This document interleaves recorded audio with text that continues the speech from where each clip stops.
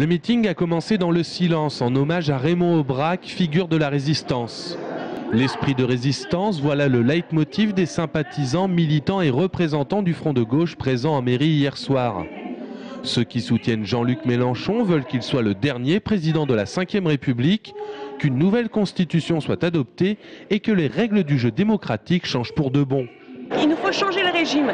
Nous, on dit qu'aujourd'hui en France, on n'est plus vraiment en démocratie, on est en oligarchie. C'est le régime des quelques-uns, si on prend le sens étymologique du terme. Donc on veut passer en république. Et pour ça, il faut convoquer l'Assemblée constituante, il faut rédiger une nouvelle constitution de la 6 République qui puisse mettre l'intérêt général au-dessus des intérêts particuliers. Et l'intérêt général, c'est l'environnement, c'est le social. Il faut aussi mettre la parité, euh, la parité qui elle-même doit être garantie par la proportionnelle intégrale. Et comme ces citoyens considèrent que la crise financière n'est pas de leur fait, ils ne veulent pas en payer les pots cassés.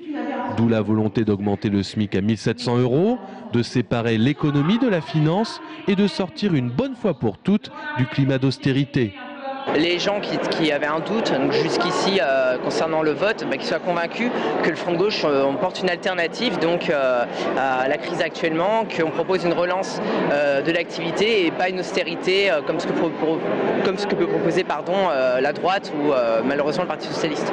Le Front de gauche se pose donc en agitateur d'idées à gauche et l'enthousiasme né des intentions de vote pour Mélenchon encourage les militants dans cette voie.